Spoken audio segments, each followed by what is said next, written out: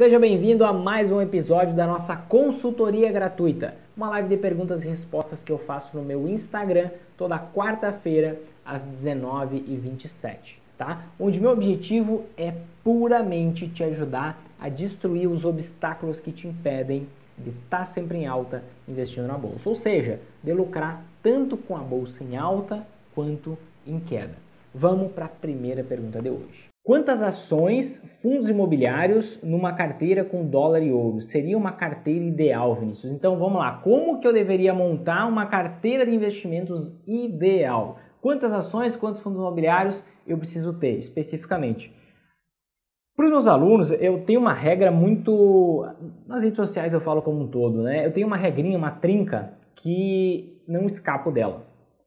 Que é basicamente, vou investir em ações o que, que eu faço? Eu invisto em pelo menos 10 ações de pelo menos 5 setores diferentes. Como assim? Me explica melhor isso aí, Vinícius. Vamos lá. E por que, que eu faço isso, tá?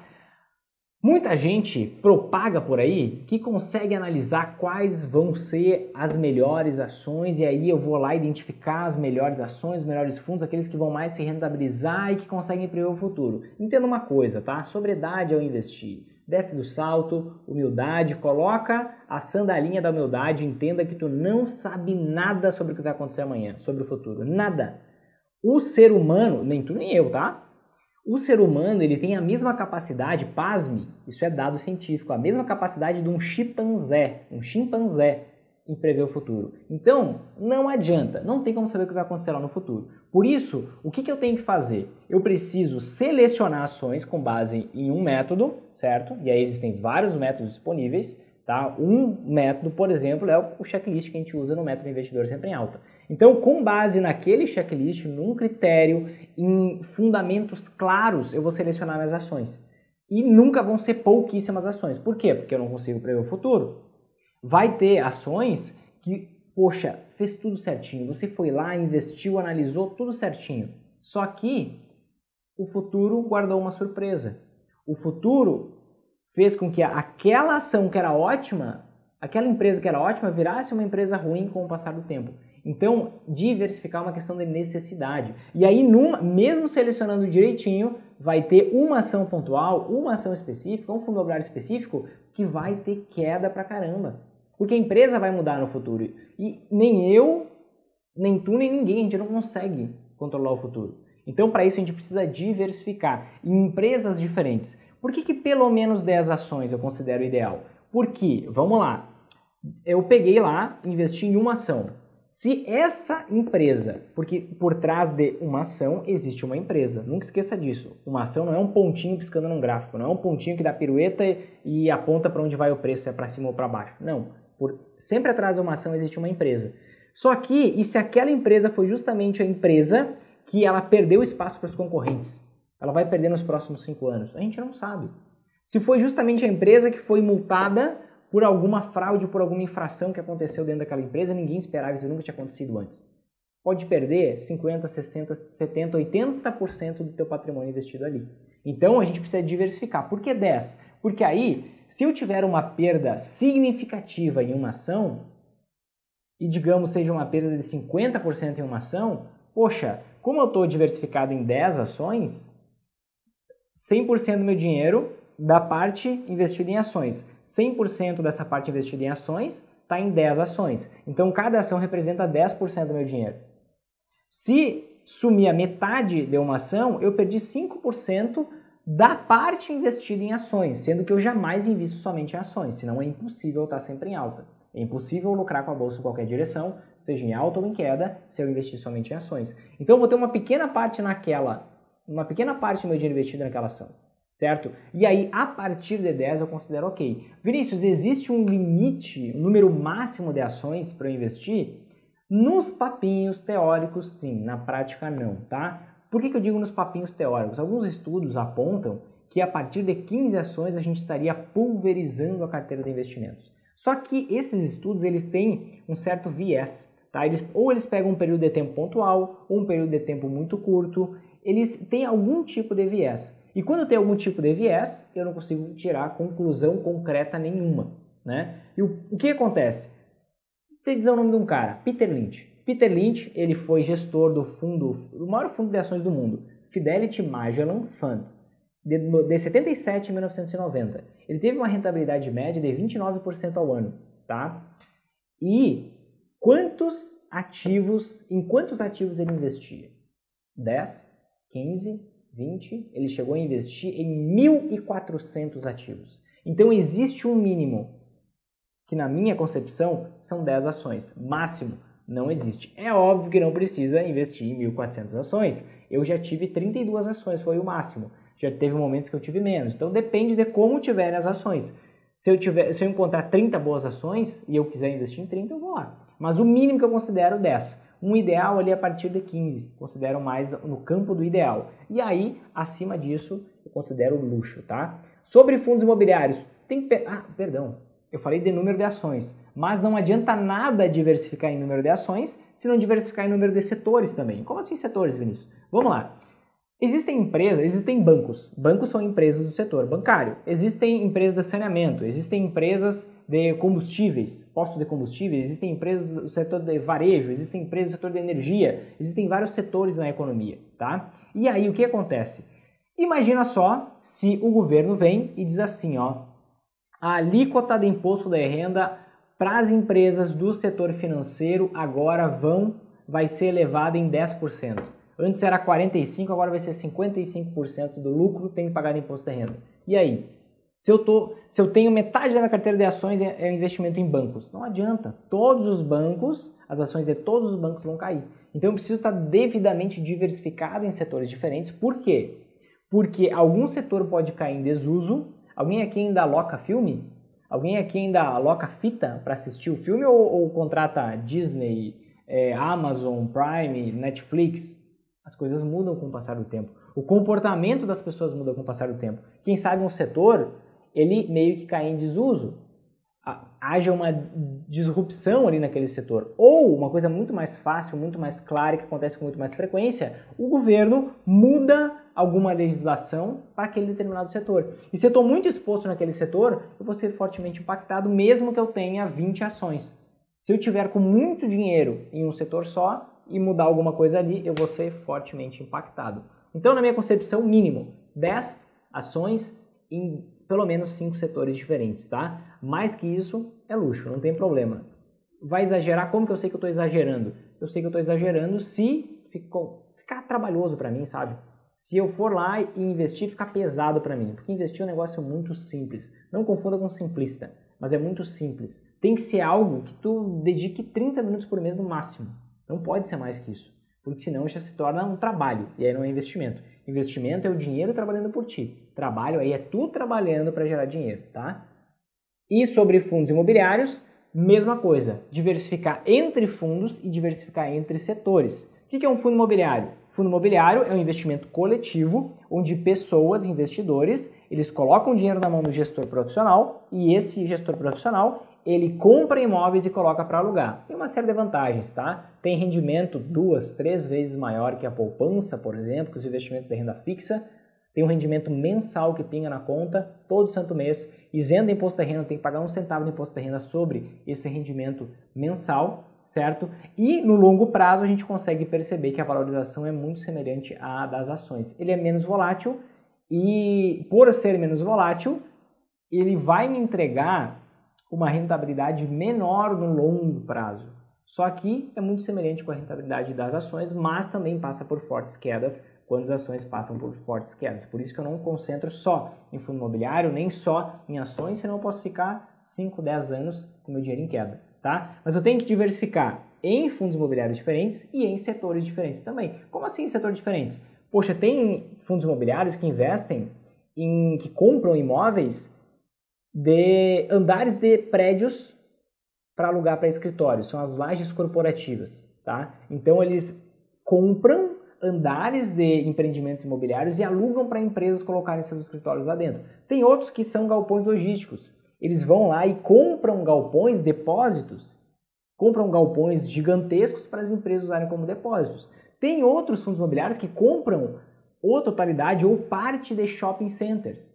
E aí eles pegam esses shopping centers e o que, que eles fazem? Eles alugam as lojinhas dos shopping centers. Então, tem agora tem o setor é, agropecuário, tem vários setores. Eu também tenho que diversificar nos setores, tá? E aí, quanto que vai ser um número ideal de ações, número ideal de fundos imobiliários para o dólar e ouro não, não tem nada a ver com essa diversificação, tá? Não, isso não é por investir em dólar e ouro que precisa disso.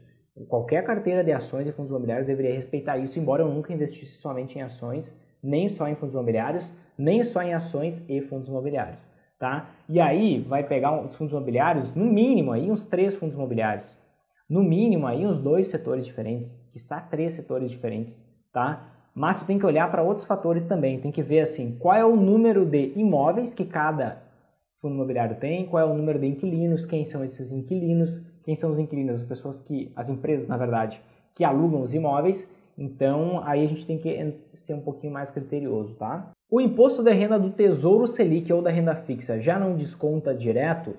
O sim, da renda fixa sim. O imposto de renda do Tesouro Selic, de qualquer investimento da renda fixa que seja tributado, já é descontado automaticamente. Fui lá, investi, Beleza, mantive meu investimento por um tempo, resgatei uma parte do meu dinheiro, resgatei a totalidade do meu dinheiro, automaticamente na minha conta na corretora vai cair o quê? Vai cair somente o valor líquido. Como assim o valor líquido? A parte de imposto de renda que eu tenho que pagar sobre o lucro que eu tive, não é imposto de renda sobre todo o valor, sobre o lucro que eu tive, já é descontada automaticamente. Então, para mim, só cai o valor limpinho ali, tá? O que a gente estava falando antes era sobre declaração do imposto de renda. Aí não existe declaração automática. O método deve ser seguido com rebalanceamento trimestral, independente do, do que acontecer. Os rebalanceamentos tu vai ter que decidir uma periodicidade específica, tá? Tem muita gente que pergunta assim, ó. Poxa, Vinícius, estou usando o método investidor sempre alta, quero implementar o método, quando que eu faço os meus rebalanceamentos? E o que é o rebalanceamento, gente? O rebalanceamento é uma técnica do método investidor sempre em alta, que basicamente se baseia no que? Eu vou lá, monto a minha Magar, monto a carteira de investimentos do investidor sempre em alta e periodicamente, com o passar do tempo, eu rebalanceio ela. Eu planejei uma carteira ideal para a minha situação de vida, para os meus objetivos, para o meu nível de tolerância a risco. Aí, com o passar do tempo, eu vou sempre retornar a essa carteira de investimentos inicial. Ah, eu defini que investiria 30% em ações, 20% em dólar, 15% é, em fundos imobiliários, estou chutando percentuais, etc isso vai ter uma volatilidade, vai ter uma mudança de preço com o passar do tempo. Então, daqui a algum tempo, que tu vai definir isso, uma periodicidade, trimestral, semestral ou anual, tu vai lá e vai retornar a tua carteira inicial. Poxa, essas ações subiram nesse período, aí as ações passaram, elas representavam 30% do teu patrimônio, agora elas representam 35, 40, não sei. E aí, tu vai vender uma parte, esse excedente, esse lucro, vende e vai comprar de outros investimentos que agora estão mais baratos, que estão em queda. Esse é o princípio do rebalanceamento. Passando rapidinho aqui só para responder a pergunta especificamente, tá? Aí é, surge aquela pergunta, poxa, quando tiver uma forte alta ou uma forte queda nas ações, será que eu não faço antes o rebalanceamento? E aí, qual é a resposta certa? A resposta certa é para quê? Eu vou te explicar por que a resposta certa é para que tu vai mexer em time que está ganhando. Vamos lá. Naturalmente, quando tu implementa o método, tu já vai estar tá sempre em alta, tá? Todas as pessoas que implementarem o método seguindo o exato GPS, o exato passo a passo, nem que queira, não tem como não estar tá sempre em alta. Aí, o que acontece? A gente acha que consegue identificar qual momento fazer o rebalanceamento, fazer essas compras e vendas e que assim vai conseguir aumentar a rentabilidade. Só que pode ser que até uma vez, duas vezes, três vezes, ok, tu vai lá e consiga fazer isso. Tu vai lá e identifica realmente um momento melhor de vender. Quem sabe quando chegar o rebalanceamento já não estava tanta distorção de preço. Só que se tu fizer isso sistematicamente ao longo de anos, de anos, de anos, no longo prazo não faz diferença nenhuma. Vai ter vezes que tu vai acertar, vai ter vezes que tu vai errar, para continuar no mesmo lugar, com a mesma rentabilidade, só que dedicando muito mais tempo, dedicando muito mais energia, acompanhando muito mais investimentos, sendo que tu não precisa disso. Vai lá, investe, esquece, vai viver a vida. Quando chegar a hora de aportar mais dinheiro, se tu faz o aporte mensal ou se faz o aporte trimestral, aí vai olhar para os investimentos. No meio desse tempo, esquece. Chegou o rebalanceamento, rebalanceia, beleza. Beleza. Não precisa dedicar tudo isso de tempo, porque essa dedicação de tempo não vai se traduzir em maior rentabilidade. Por quê? Porque algumas vezes tu vai errar, outras vezes tu vai acertar. E aí tu vai ficar com a mesma rentabilidade, te esforçando muito mais. Entende? Então, um caso clássico, tá? 2020, logo que começaram as quedas nas ações de 2020, eu, eu me bateu uma pulguinha atrás da orelha. Será que não vale a pena fazer agora um rebalanceamento? Eu tinha feito fazer um mês e meio, mais ou menos. E as ações estavam caindo 20%. E eu fiquei com essa pulguinha atrás da orelha. Por quê? Porque eu sou humano. Tu também é humano, tu é humana. Então vai ter vir esse ímpeto assim, ó, poxa, agora é o momento, tá barato agora para comprar. Vou aproveitar que eu tenho outros investimentos em alta aqui, vou me desfazer de uma parte deles, vou colocar o lucro no bolso e comprar o que tá mais barato. Só que eu dei um passo para trás e disse, não, para aí. Não é assim que a coisa funciona. Tem um histórico de décadas que funciona de outra maneira. Eu conheço a metodologia, por que eu vou fazer outra coisa? Não faz sentido. E que bom que eu não fiz. Se eu tivesse feito naquele momento, eu teria perdido de fazer quando eu fiz, que foi quando as ações estavam em mais de 35% de queda. Então eu teria comprado ações muito mais caras, sendo que depois eu comprei ações muito mais baratas, porque eu simplesmente é, respeitei a periodicidade que eu defini no início. Podia ser, podia acontecer outra situação, podia acontecer uma situação de que quando eu fosse fazer o rebalanceamento, aconteceria o quê? Eu olharia para trás e ia ver, pô, se eu tivesse feito naquela época, ia ser melhor.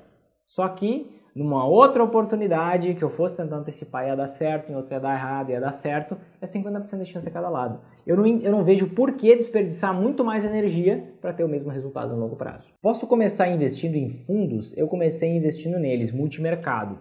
Ó, qual é o grande problema? Gente, eu levei muita pedrada na cabeça até entender isso. Eu precisei jogar anos fora para conseguir entender isso, de investimento. Por quê? Quando a gente olha assim, ó, poxa, vou investir em fundos de investimento. Por quê? Clássico. Porque eu tenho outra profissão, porque eu tenho um outro trabalho, porque eu faço outra coisa, eu não tenho tempo para me dedicar para os investimentos. A primeira coisa que eu penso, poxa, existe um gestor profissional, existe um especialista, um especialista que pode investir por mim. Por que que eu, eu que sou réis mortal, vou querer competir com um especialista. Não faz sentido. Ele vai ter, vai ter uma rentabilidade melhor que a minha. Isso é o que a gente pensa.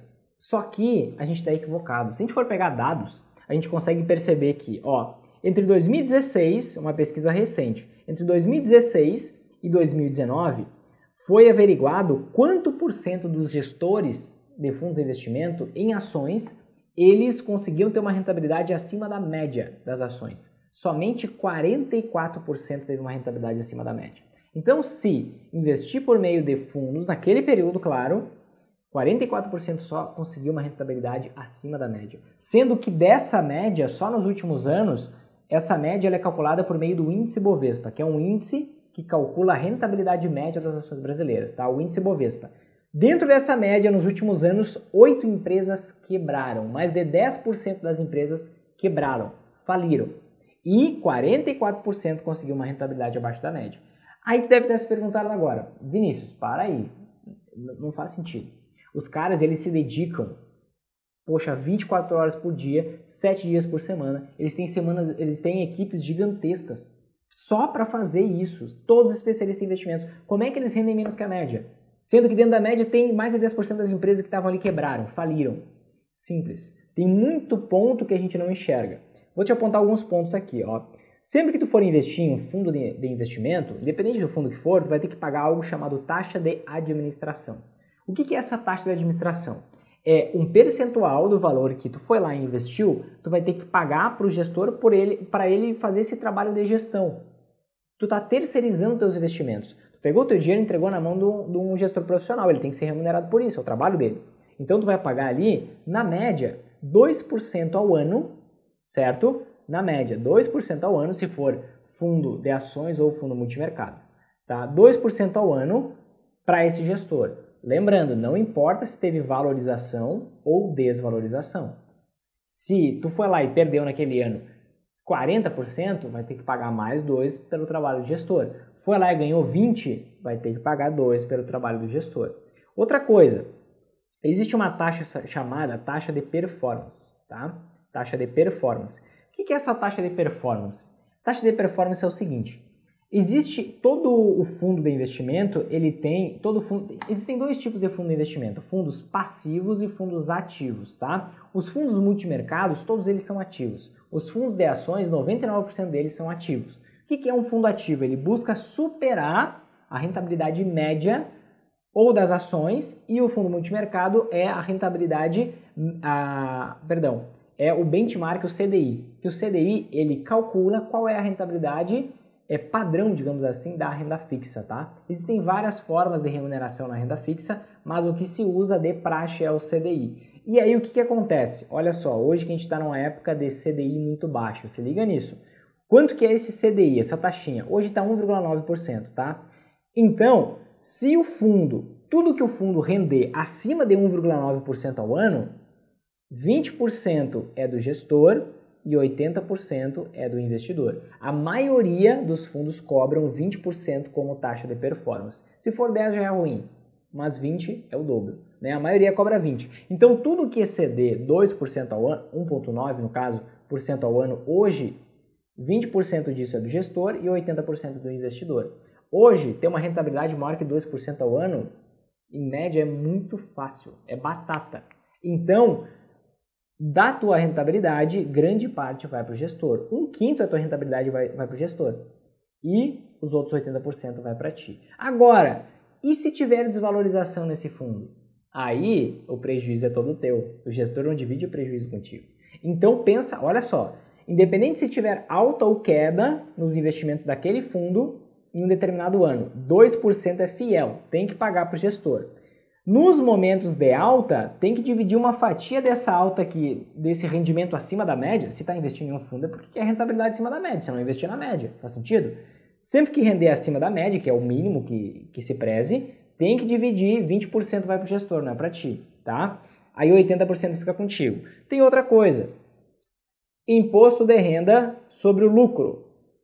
Quando tu investe diretamente em ações, por exemplo, tu não precisa pagar nada de imposto de renda sobre o lucro que tu tiver. Absolutamente nada. É só tu não vender mais que 20 mil reais por mês em ações. Só isso, tá? E aí não paga nada. Se investir por meio de fundos, vai pagar 15% de imposto de renda sobre o lucro. Vamos mais adiante. Dividendos das ações. O que, que são dividendos das ações? Parte dos lucros da. O que é uma ação, gente? Uma ação é uma parte de uma empresa. Atrás de uma ação sempre, exi... sempre existe uma empresa, tá? E aí essa empresa ela gera lucro. Pelo menos eu espero que as ações que tu queira investir, que tu queira comprar, sejam de empresas que dão lucro. Não faz sentido investir em ação da empresa quebrada. Só se tu quiser, se tu tá querendo apostar o teu dinheiro para tentar ficar rico da noite pro dia, vai lá, continua tentando bastante que não vai parar de tentar. Vai lá.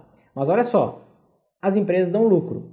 O acionista, o investidor, ele é mais um dono, mais um sócio daquela empresa. Então ele faz jus, ele tem direito a receber parte dos lucros daquela empresa. E aí, o nome desses lucros, uma forma de distribuir esses lucros se chama dividendos, tá? Dividendos para pessoa física é isento de imposto de renda. Ou seja, não precisa pagar nada de imposto de renda, certo? A distribuição é feita direto e não precisa pagar imposto de renda.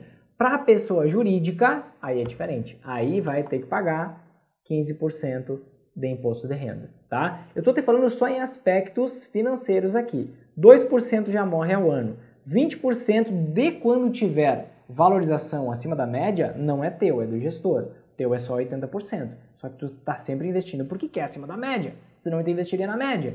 Faz sentido? Quando tiver queda, o prejuízo é todo teu. O gestor não divide contigo. O imposto de renda é 15% sobre o lucro com ações. O imposto de renda sobre dividendos é 15%. Tu não precisaria pagar nada disso. E tem outros fatores. Se eu for pegar um fundo grande que tem bilhões na mão para investir, muitas vezes ele só consegue investir em ações de empresas que já são super grandes, que não tem mais tanto potencial de crescimento. Tem muita gente que diz por aí, poxa, ações, quais são as melhores ações para ser investidas? As empresas grandes, as empresas que valem 100 bilhões. Poxa, se eu investir numa ação da Ambev, ação do Itaú, ação do Santander e ficar só nessas, só nessas ações de empresas super grandes, elas já cresceram, elas já passaram por um grande ciclo de valorização. Quer dizer que eu não tenho que investir também nessas? Depende da estratégia que tu adotar na tua carteira de ações. Mas só nessas, nunca. Tu precisa investir em empresas que vão se tornar essas. Empresas que valem poucos bilhões. Porque na bolsa é muito raro tu achar, existem, tá? Existem, mas é difícil achar empresas que valem menos de um bilhão. Então tu precisa investir nessas que no longo prazo vão virar essas empresas que hoje vale um, vale cinco e vai se tornar, vai começar a valer 100 bilhões. E aí multiplica por 10, 20 vezes. Essa é a lógica, entende? Se tu ficar só nas super grandes, que é a que os fundos conseguem ficar, a tua rentabilidade naturalmente vai ser menor. Por que, que só essa eles conseguem? Porque eles têm bilhões na mão. E aí, eles, poxa, vão lá investir. Imagina só um fundo de ações, por exemplo, que tem 10 bilhões para investir. Poxa, beleza. A política dele é investir em 20 ações, tá? Então ele tem que investir, vamos pegar aqui fazer uma continha rápida. 10 bilhões dividido por 20 ações, ele tem que investir 500 milhões por ação. É possível ele comprar ações de uma empresa, de uma empresa que tem um, um valor de 2 bilhões e meio, ele comprar 20% das ações? Não tem como. Por quê? Se ele for comprar 20% das ações, ele vai puxar o preço das ações lá para cima, ele vai perder todo o potencial de rentabilidade. Ele vai começar comprando ações barato e vai terminar comprando caro. E aí perdeu o potencial de rentabilidade, porque é um ente só querendo comprar muitas ações. Até 5%, levando anos comprando pouco a pouco, ele consegue, levando meses, perdão, anos não, levando meses comprando pouco a pouco, funciona, dá. 5%, mas 20 não tem como. Então, a maioria dos fundos, eles ficam só poxa, tem 400 ações na bolsa. Eles não conseguem investir em 400, eles não conseguem investir em 300, eles não conseguem investir em 200, eles não conseguem investir em 100, eles não conseguem investir em 50. Eles só ficam nas empresas maiores, porque é onde dá. E aí eles têm que dar um jeito de conseguir entregar alguma rentabilidade, só que o que, que acontece? 40, num momento de alta da bolsa, 44% dos gestores conseguiram uma rentabilidade acima da média. Então, entende a resposta para essa pergunta? Eu preciso dizer, sim ou não? Posso começar investindo em fundos? Eu comecei investindo em fundos. Foi como eu comecei. Mas se eu fosse começar hoje, eu jamais começaria por fundos. Porque cada ano que eu tenho uma rentabilidade menor, cada ano que eu deixo de ter lucro, cada ano que eu tenho perda nos investimentos, é um atraso, é um desserviço, é um passo para trás que eu dou. É um passo para trás que eu dou. Por isso, a melhor solução que eu vejo é tu aprender por conta própria, assim tu vai ter maior rentabilidade. E se tu aprender a implementar o método investidor sempre em alta, tu vai aprender a lucrar com a bolsa, tanto em alta quanto em queda. Se tu perde dinheiro, é um desserviço, é um atraso, é um passo para trás que tu dá. Se tu aprende a investir com 30 minutos por mês e lucrar tanto com a bolsa em alta quanto em queda, tu não dá nenhum passo para trás. Nenhum passo para trás. Por quê? Porque tu vai estar sempre caminhando rumo aonde tu quer chegar, que eu não sei onde é. Não sei se é independência financeira, não sei se é uma casa que tu quer, que está na tua cabeça, tu só não conseguiu comprar ainda, não sei se é tranquilidade financeira, não sei se dá uma vida melhor para os teus pais, para tua família, não sei. Educação dos teus filhos, não sei viagem, cada um tem seus objetivos. Mas o fato é que tu não vai estar dando passo para trás. Próxima pergunta aqui, ó. A VEG, vejo que sofre muitas oscilações, tem preço alto e não cresce mais. Vale a pena investir? Qualquer ação, tem que pegar e analisar, tá, gente? Vai lá, pega o passo a passo, pega o checklist, tem que ter um método claro de análise, fundamentos claros, indicadores claros que te digam, ó, essa ação, nessa aqui vale a pena investir, nessa aqui não vale a pena. Tem que ter clareza. Clareza vem com passo a passo, vem com caminho, com trilha, com rota. Viu lá que o preço está alto, ou seja, que a ação está cara, tá? Isso aqui tem, que diferenciar. A ação está cara, mas o preço não necessariamente tem que ser alto. O preço da ação, a cotação de uma ação, não indica que a ação é barata ou cara. Por exemplo, existem ações com o preço de R$ reais que são mais caras que ações com o preço de 50 reais. Como assim? Dois reais é mais caro que 50? Positivo, é isso aí mesmo. Por que, que é assim? Porque caro ou barato, é, por exemplo, se eu te disser assim, ó, hum, esse carro aqui, que tu não tá vendo qual é o carro, ele é caro ou é barato? 100 mil reais? Depende. Se for um Fusca, ano, sei lá, ano 67, tá caro 100 mil. Se for uma Ferrari, um Porsche, Tá barato 100 mil. Entende? Então depende da qualidade daquele negócio. Como que eu digo se uma ação está cara ou está barata? Quando eu comparo o preço dela com o lucro que a empresa gera, com o valor do patrimônio da empresa, eu tenho que comparar com a qualidade daquele negócio, tá? No caso da VEG, ela, ela tem uma ação cara. Se ela não tá não analisei a ação aqui, tá? Se ela não cresce, para que, que eu vou investir? Se é uma empresa que não cresce e ainda está cara, faz algum sentido? Não vale a pena. Ah, porque ela sofre oscilações. Não faça isso. Não cometa o erro da galinha. Sabe qual é o erro da galinha? Galinha fica ciscando para trás, fica olhando para trás. O que, que aconteceu aí nos últimos tempos com essa ação? Ah, ela subiu, caiu, oscilou. Será que isso vai continuar acontecendo? Será que vai acontecer o contrário? Tu não sabe nada do que vai acontecer. Aceita isso. Foca no GPS, no passo a passo, no método de análise, diversifica as tuas ações e pronto. Se cometeu o erro da galinha, vai ficar olhando para trás, vai ficar na expectativa de que o que estava acontecendo continue acontecendo, ou do que estava acontecendo agora aconteça o contrário, e aí tu nutre aquela expectativa, fica acompanhando para ver se vai dar resultado, se vai, a tua expectativa, se a realidade vai se adequar à tua expectativa, e depois tu fica frustrado, ansioso, nervoso, preocupado, porque em algum momento, alguma ação vai frustrar as tuas expectativas. Esse é o caminho para tortura ao investir. Se tu quer investir com clareza, com confiança e com resultado, esquece se ela oscila muito ou se oscila pouco. Isso é o que aconteceu até agora. O que, que vai acontecer daqui para frente? Ninguém sabe. Só tem que ter munir. Pensa num time de futebol. Como é que tu define um, como é que tu escala uma seleção? É com base em quantos gols o cara fez? Claro que não. Nenhum técnico escala alguém com base em quantos gols o cara fez. Por quê? Porque o atacante só vai conseguir fazer gol se a bola chegar até ele. É o contexto que importa. Então, a depender, a depender do que, de qual tipo de atacante um técnico está privilegiando, se é o cara que fica lá na boca do gol ou se é o cara que vem até o meio campo, ele vai selecionar alguém. Não é com base no que aconteceu, é com base em fundamentos claros que uma estratégia traz. O gerente da XP diz que consegue aplicar no Tesouro Direto pela mesa e assim eu não pagaria a taxa da B3. Porém, assim seria hoje IPCA mais 3,02. Já direto pelo Tesouro Direto está IPCA mais uma outra taxa. O que acontece, ó, gente, sobre Tesouro Direto aqui, ó. É, vou lá investir em títulos de Tesouro Direto. Títulos públicos, perdão. Tem duas maneiras de eu investir. Eu posso investir por meio do Tesouro Direto, que é um programa criado em 2002, certo? Que possibilitou as pessoas físicas, nós, emprestarmos dinheiro para o governo.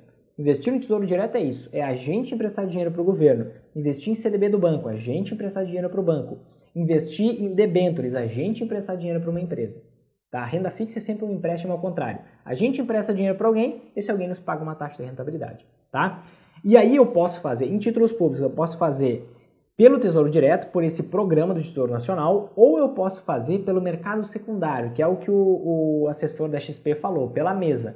Quando tu faz pela mesa, Aí é outra história. Aí quem tiver te vendendo o título, ele vai vender ao preço que ele quiser, a taxa que ele quiser. E aí não precisa pagar a taxa do Tesouro Direto. Mas, geralmente, ele vai te vender por um preço muito superior ao que está no Tesouro Direto, para valer a pena, senão não valeria a pena. Então, a minha orientação para todo mundo que vai investir em títulos públicos, faça somente pelo Tesouro Direto. É assim que eu faço, tá? Melhor, não é a minha orientação para ninguém, mas é assim que eu faço. 39 anos, pago INSS há 18 anos. Vale a pena continuar ou melhor colocar essa grana em investimentos? Depende. Aqui vai depender muito, tá? Porque depende assim, ó. Paga INSS há 18 anos. Ok, mas tu paga referente a qual salário? A quantos salários? Essa é uma dúvida. A outra dúvida, qual seria o teu aporte nos investimentos? A outra dúvida, quanto de patrimônio tu já tem? A outra, poxa, então depende de todo um contexto. Isso aí tu precisaria é, pegar, isso é questão muito pessoal, muito pontual. Tu precisaria pegar dados teus, histórico teu, quanto tu poderia aportar, por quanto tempo seria o aporte, quando que tu quer te aposentar, etc, etc e tal, e aí chegar nessa conclusão, tá? O que com certeza tu deve fazer é não contar somente com o INSS. Isso é 100% certeza. Então, investir um excedente, com certeza. Agora, largar o INSS e somente investir, aí depende de um cálculo que eu sei que tu gostaria que tu desse uma resposta mais direta aqui hoje, mas eu não vou ser irresponsável para te falar isso. Teria que fazer uma conta, porque já foi pago por 18 anos. Então, tem que ver bem caso a caso. Agora, com certeza, investir extra INSS. Jamais contar somente com o INSS. Esse é um grande problema. O INSS, a tabela não é corrigida há quanto tempo? Quanto que é? Nossa, contar com o INSS é contar com, com nada. Então, tem que ter pelo menos uma espécie de previdência complementar. Não vai ser um investimento em previdência em si, mas tu vai formar a tua própria previdência por meio dos investimentos, tá? Isso com certeza. O valor que tenho que ter investido em ouro é o mesmo que tenho em ações para que a carteira esteja protegida? Vamos lá.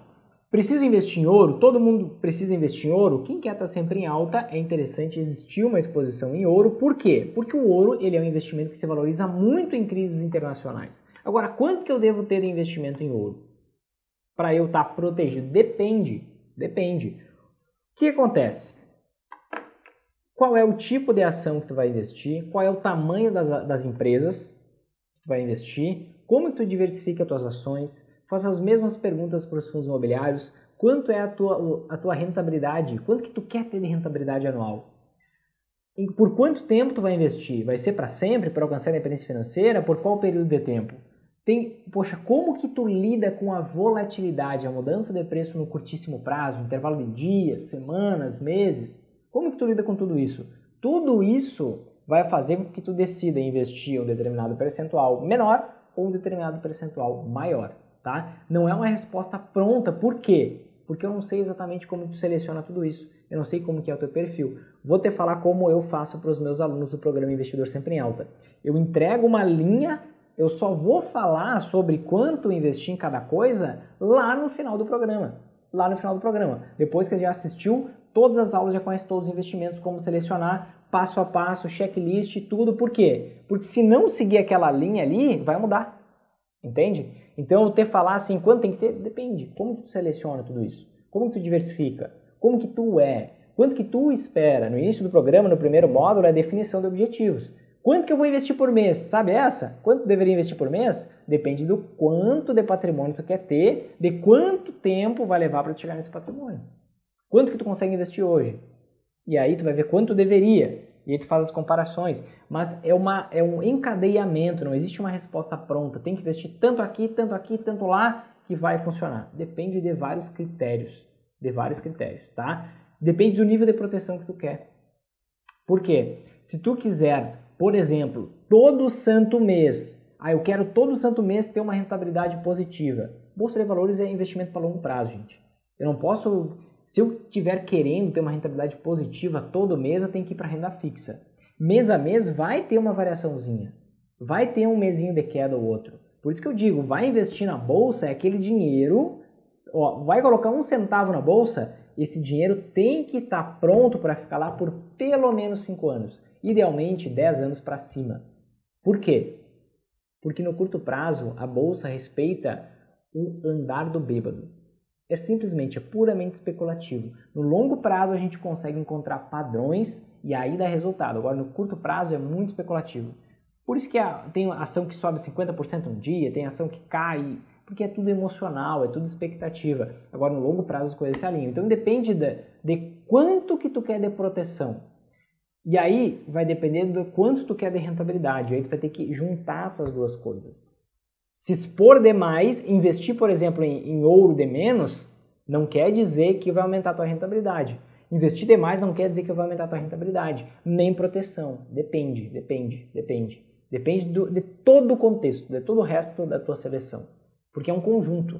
Imagina assim, é, que uma carteira de investimentos é um relógio. Sabe o relógio cebolão? Dentro daquele relógio tem engrenagens. Aquelas engrenagens ali elas têm os dentes entrelaçados. É por isso que funcionam os ponteiros. Então, a depender do tipo de engrenagem que tu usa aqui, tu vai ter uma outra engrenagem aqui, tu vai ter uma outra engrenagem aqui. E tudo isso vai fazer o relógio funcionar. Se tu quiser pegar uma engrenagem qualquer, colocar aqui, aí tu acha uma outra engrenagem, coloca aqui, outra aqui, alguma coisa vai dar ruim aqui. Vai precisar que os astros se alinhem para tu conseguir ter resultado. Entende? Então não é uma resposta puramente fria, sim, tá? Como me expor ao dólar? Por meio de fundos ou investindo em stocks e REITs diretamente. Vamos lá, estamos falando de três coisas totalmente diferentes aqui. Dólar é dólar, stocks são stocks, REITs são REITs. O que é dólar? A moeda. Dólar, a moeda. O que, que são stocks? Ações americanas. Nada a ver com dólar. O que, que são REITs? São empresas, empre... não são fundos imobiliários americanos. Eu sei que é conhecido por aí como fundos imobiliários americanos, mas são empresas que funcionam de forma similar aos fundos imobiliários. São empresas que podem se endividar, por exemplo. Aqui no Brasil, os fundos imobiliários não podem se, se endividar. Tá? Então é diferente, não são os fundos imobiliários americanos. Agora, se eu, por exemplo, for investir em. Por que, que o REITs e, a, e stocks, que são ações americanas, elas são diferentes, não tem nada a ver com dólar? Vamos pegar o seguinte caso, ó. O dólar e o ouro, eles são investimentos do contra. Eles são investimentos que se valorizam, são anti-ações. São investimentos que se valorizam quando as ações vão mal em determinados momentos distintos cada um deles, tá? E o que acontece?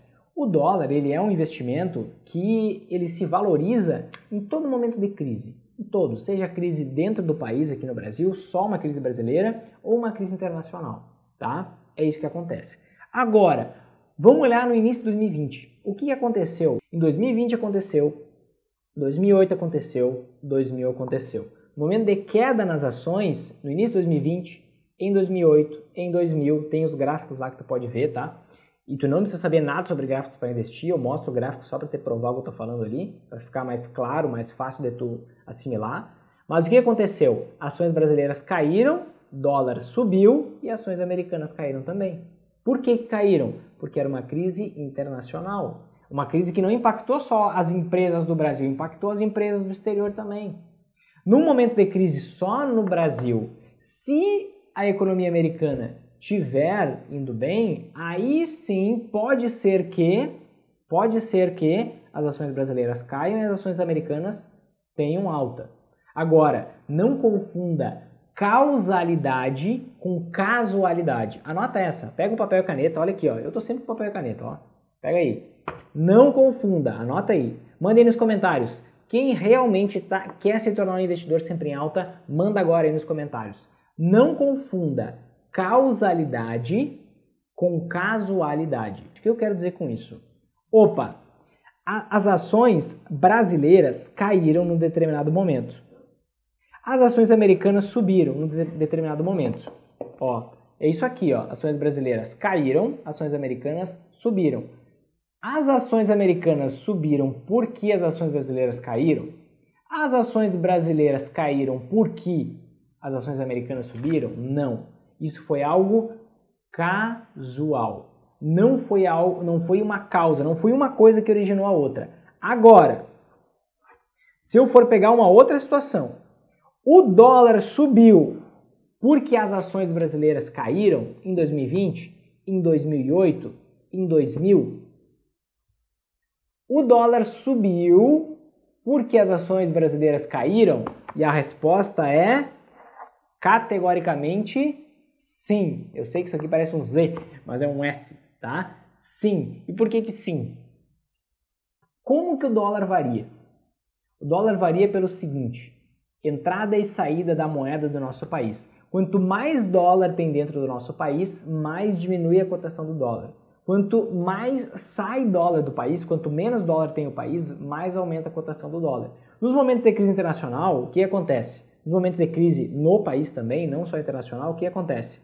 Os investidores estrangeiros que têm 46% do dinheiro investido em ações aqui no Brasil, eles olham, opa, será mesmo que numa crise no Brasil ou numa crise no mundo internacional, eu vou manter meu dinheiro investido lá, num país subdesenvolvido? Será que eu vou deixar meu dinheiro no Brasil, no Zimbábue, na Venezuela? Ou eu vou pegar e concentrar e investir em países desenvolvidos, que têm uma economia mais forte?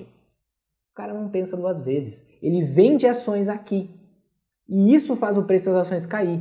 E quando ele tira o seu dólar aqui do país, o dólar fica mais escasso. Isso eleva o preço do dólar. Então aqui tem uma relação de causalidade, causa-consequência. Agora, ações brasileiras e ações americanas é só casualidade. Então tu vai ter que contar, e isso vale para REITs também, porque são empresas americanas ligadas ao setor imobiliário. Tu vai ter que lidar, tu vai ter que contar com o alinhamento dos astros para tu conseguir estar tá sempre em alta quando tu substitui o dólar por stocks ou REITs. Então dólar é dólar, stocks são stocks, REITs são REITs. O que acha de Cogna, a empresa Cogna?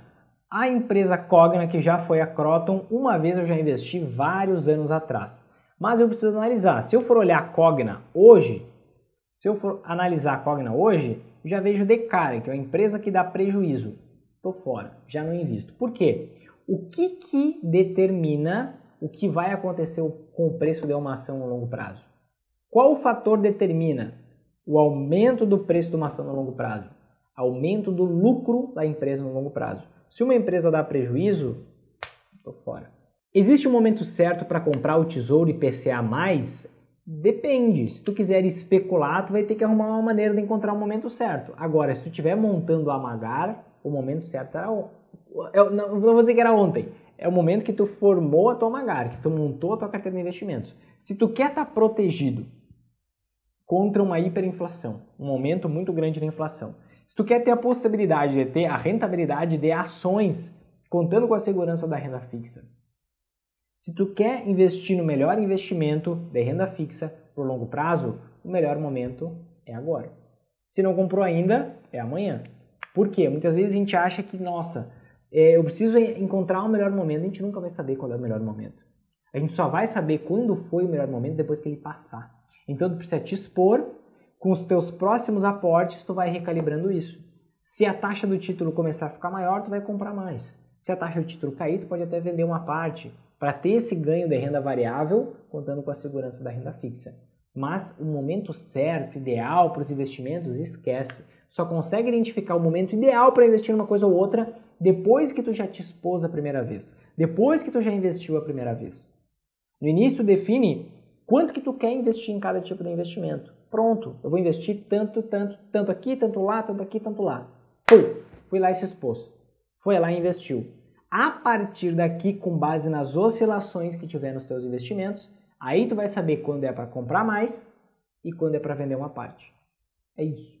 Antes disso, tu só vai ficar, se tu ficar esperando o momento certo, que não existe, vai ficar só postergando, postergando, postergando, vai perder tempo e vai perder dinheiro. Vai deixar de ganhar dinheiro, que é a mesma coisa que perder.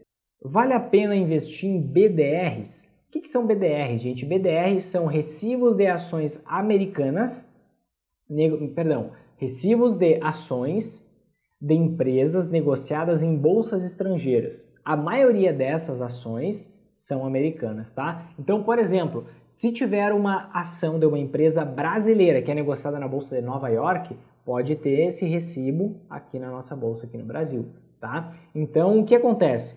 Vale a pena investir em BDRs? A minha pergunta é: por quê? Todo investimento que tu for fazer, tu precisa ter claramente, claramente, tem que ser cristalino para ti. Por que eu estou investindo nisto? Ah, é porque eu acho que vai ser bom. Ah, é porque me falaram que vai ser bom. Ah, porque tem um bom histórico. Pega a história, joga no lixo. Se a história não tem um racional por trás, se não existe uma explicação lógica, a história não vale de nada. De nada. Poxa, vou investir nisso aqui porque subiu bastante. Tá, por que, que subiu? Qual é o poder de replicar isso?